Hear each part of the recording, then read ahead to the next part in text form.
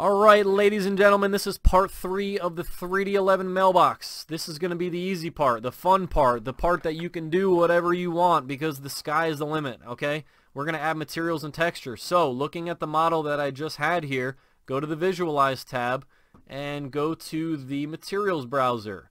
With the Materials browser, you can pick any material that you like. Drop down this triangle, drop down that triangle, and start looking for what you want. So, let's see, we want to maybe go for a metal aluminum fabricated steel that's up to you but I like um I like to put I like the blue mailbox when I was doing mine but you can do whatever you want if these icons are too big change these back to 64 by 64 so you can see more stuff alright where's my blue mailbox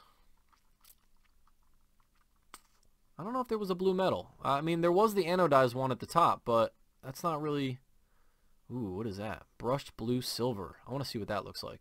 So we're going to toss that on there. Uh, we got to be on realistic, by the way. All right, so we got that material on there. We need a, I think we need a white plastic. So let's see if there's plastic, and let's see if there's some kind of white, coarse textured white. We probably don't want, we want fine textured. Uh, if it's got a lot of texture to it, it's going to bounce a lot of light on it. So that right there is going to get filled with white. We got these numbers here. I don't like that already, but I still want to see what it looks like. Again, this is up to you. It's it's however you want to do this. I never really fix my numbers either, but I don't really care about that. Um, maybe I'll do another metal on that, and maybe I'll do something dark. Or maybe, yeah, we'll do like anodized black is kind of cool. Alright, we'll go with that. I gotta fix this 5. It's driving me crazy. That's a little better. Okay, 135. Um, all right, now everything else. I want to turn the sun off because it's driving me crazy right now and it's really bright on there. And also, if that didn't do it, then you can drop down uh, lights and you can change your exposure. Right now, it seems like... There we go. I want to be able to see stuff. I'm going to move that later, but for now, I need to be able to see my stuff. Um, okay, so in the material browser, I want to search... I think it's under site work, actually, but I'm looking for asphalt.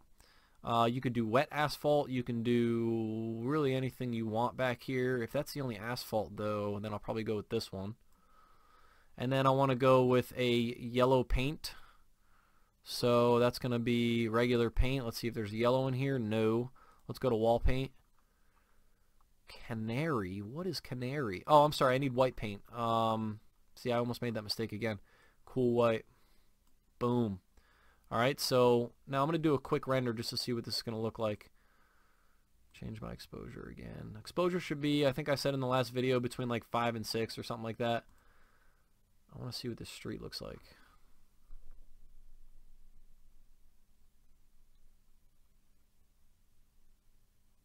That's pretty good so far. Okay, cancel, close. Alright, uh, let's see, what else? Material browser, look for grass, that's also under site work. Still recording? Yes. Under site work, you'll see that there's like, I don't know, grass thick. How about that? And then under site work as well, you'll see that there were cool pavers like that one that you can stick on there or that one. What was the one I used? I can't remember. I like the one I found, but you guys can find it. Hedge. That's interesting. I wonder what that's going to look like on the grass. Ooh. Okay, now two more things, or a couple more things. We have to do concrete is also under site work. So go back. Oh, you know what? Sorry, it's got its own thing. Concrete. Um, you want to do... Well, you again, you could do whatever you want. Don't even listen to me. I'm just doing mine in front of you. Um, I'm, you know, I might put this on here and then I might not like it. I don't know. Like, I, I hate that already. Did it go? All right. I don't know why we can't see the preview of that one, but we're just going to go with it.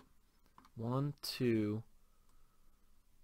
three, four. And then we got to go with another, what is this, that anodized black, AccuRender black rubber. I don't know what that came from. I was using that for something else. Let's go with, let's just type in black and see what we get here. Black control joints.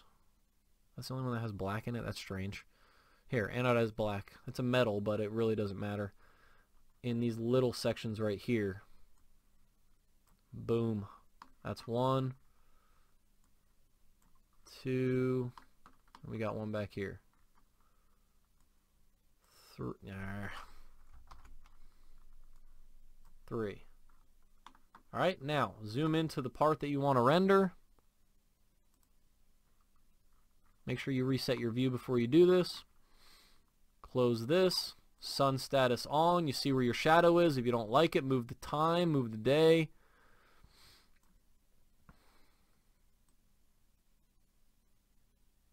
Something like that. I think that's okay.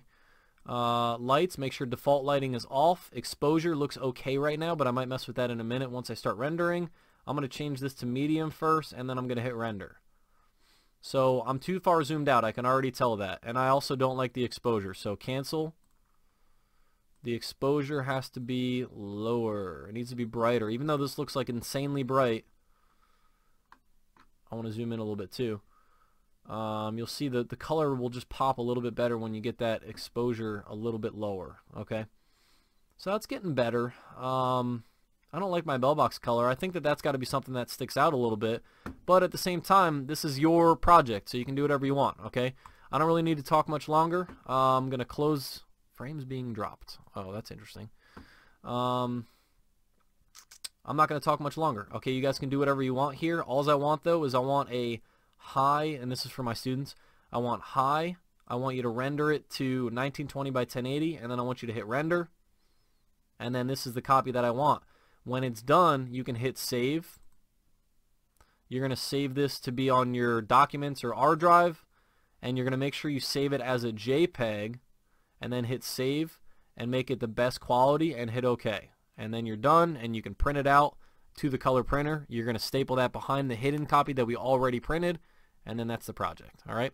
Thank you guys for watching. I appreciate it. This was part three, and then you will see another one coming up in the next couple days. All right.